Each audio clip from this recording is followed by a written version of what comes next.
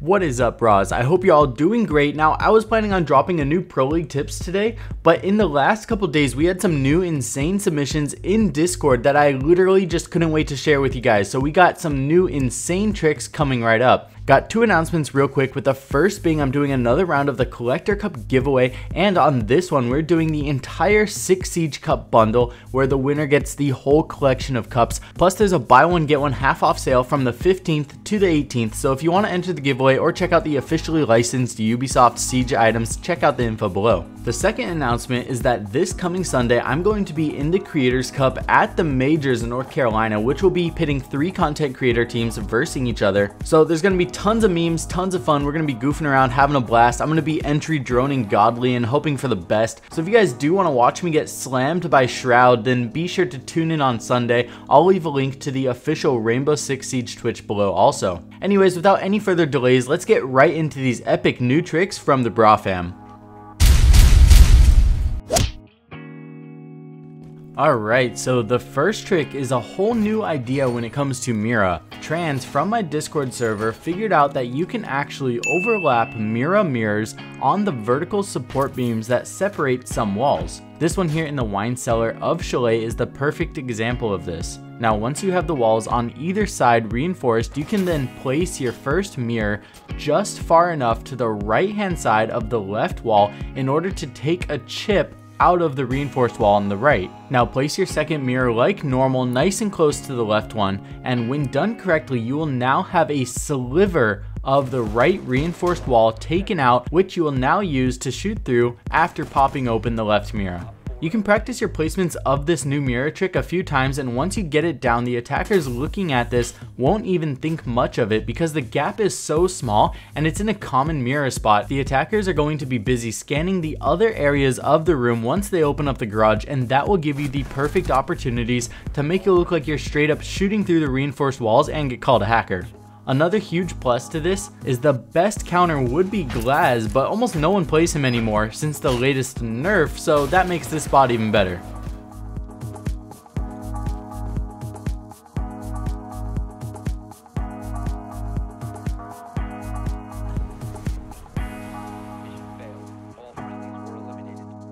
Next up is a trick we're going to use to add onto this already stacked mirror setup to be able to throw C4s at attackers without ever putting yourself at risk. Normally in order to get a C4 towards this garage, you need to expose yourself on the rotate into garage or in connector, which is where attackers crosshairs should be aiming at because that's the typical play. Well, the Brah fam is going to just make this C4 appear out of thin air by opening up the floor above the mirror and breaking the corner floor in front of the fireplace. Now you can stand on the corner of the rug behind your mirror safely and aim directly south at this horizontal beam going across the ceiling and you'll be able to chuck the C4 up into fireplace and it'll come back down into garage by the snowmobile. Now do keep in mind that this won't take out attackers planting behind the garbage can which is the normal plant spot. This C4 is for attackers that push further in like a Montagne or any attacker that's pushing forward trying to protect the planter. Next up, we have the grenade trick counter that I included in a video a few months ago, but since we're going so in depth with this particular site, I had to throw it in for a few seconds as a quick reminder. By being any nade operator, you can actually safely nade any Mira player in this current setup all the way while you're safe outside by standing where I'm at in the corner of the bench and pillar and aiming your crosshairs at the spot that you see me do on the fireplace. Now of course if you're the Mira player you gotta make sure you got an ADS down to keep yourself safe and if you're the attacker send in your Twitch drone or Thatcher to help take it out for you. Now hopefully these three unexpected tricks stack on and help you out the next time you guys find yourself here on this site.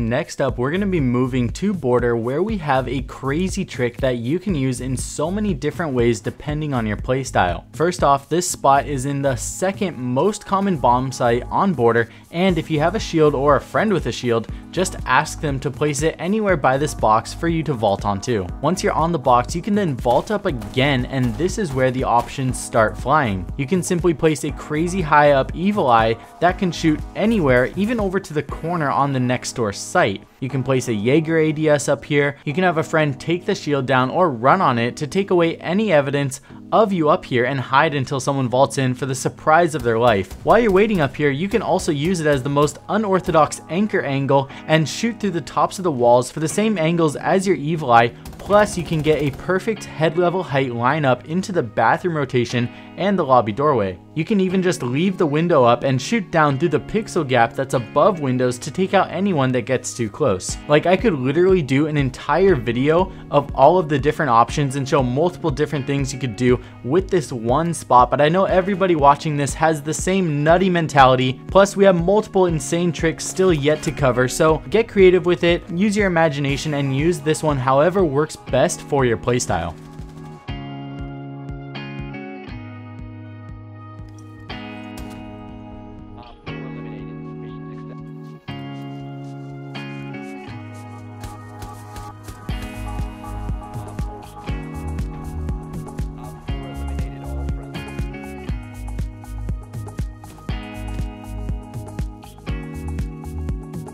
Alright, so we're going to be calming down a little bit. We're going to head on over to Clubhouse with a simple trick that you can do to protect the hot tub wall by placing a Kaid Electroclaw underneath in this exact spot to electrify the walls above and frustrate the attackers. We're going to be heading down into the bathroom after we reinforce the wall and once we place it, if there's a Maverick on the other team, he's going to be so confused and is going to be stuck opening up so many different spots looking for the charges to take out. You can also shoot the ceiling in the bathroom if you want to go for some debris coverage and make sure you place the Electroclaw on the east hand side of the support beam because if you do place it on the other side of the support beam, I at least wasn't able to get it to where it would electrify above. All in all, super simple spot and really effective.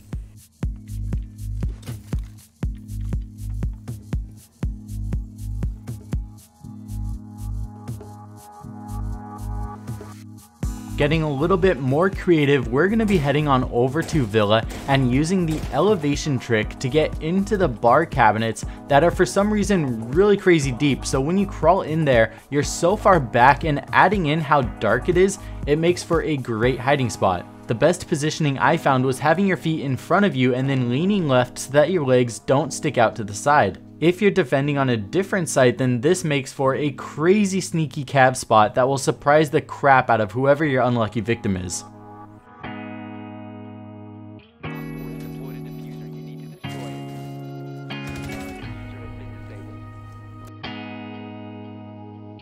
Now next up is yet again another trick that we could literally do an entire video on in itself. But that's not how we roll here. Literally everything we do is worthy of this video title, so getting right into it, we have a whole new concept of how to hide Valkyrie cameras. This one was sent in by the legend HologramSam, and it is a game changer for Valkyrie. By using your C4 or simply another Valcam, you can then aim your reticle just above and bounce your cameras up to get it to stick on the ceiling of surfaces that otherwise you wouldn't be able to just simply throw it onto. It's pretty much like you're just playing pool with a bouncy ball. You can now place your cameras on the top surface of random items. This is another trick that you can get creative with and next time you find yourself playing Valk, just look around at random items with high traffic areas and see if you can fit a cam underneath of it. It's so simple that when there's enough space, you can simply bounce your cam up on top of the C4 and it'll fly up and stick. If there's not enough room, your camera will stick to the side or you just won't even be able to throw your camera on top of the other gadget.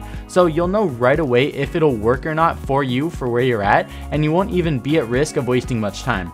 Plus, once you do find your favorite spots, you can land it first try, and it'll literally only take two seconds longer than throwing a regular camera. Anyways, brah fam, that's gonna wrap it up for this video. Wish me luck this weekend. Hopefully we don't get slammed too hard by Shroud. I already kind of have a hard time playing on Twitch. I'm gonna be super nervous, so please don't roast me too hard if I don't pull out like a million kills. But thank you guys all so much for the support. Check out the links down below. The next video will be out on Sunday after the new season reveal, and I'll have some new season gameplay with the new operators, new map, everything. So super stoked for that. Hit the like button if you like this video, down button if you didn't like it, and I'll see you guys all very soon in the next video. I love you all. Peace.